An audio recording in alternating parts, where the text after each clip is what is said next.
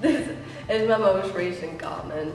Um, as a base, like we had to start our own research. Like usually, always we're always given some sort of starting point, but with this one, it was about our own research and our own design philosophy. Um, I started looking at war and terrorism because I really like incorporating like current problems in society and the world.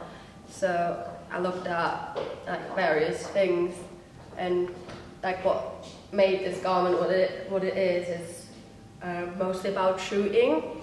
Um, so when you sh shoot at like a teddy bear, like the filling comes out, and that's why here the filling comes out of the garment, and it's like a design feature, and it shows um, silver, like that fabric. It's kind of like bullet holes in in in the fabric. Um, as for the color of that gilet, it's like being like it was inspired by being beheaded. It's like blood running down, but it's not actually ugly. Like it's supposed to be pretty, and to get some sort of like more tactile feeling, I sewed some beads on because it just makes it stand out a bit more and gives it something special.